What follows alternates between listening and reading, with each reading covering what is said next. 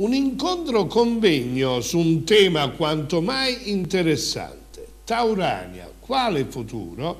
Voluto fortemente dal sindaco di San Marzano Cosimo Annunziata e partecipato poi dai sindaci Nunzio Carpentieri di Sant'Egidio del Montalbino e Cosimo Ferreoli di Agri.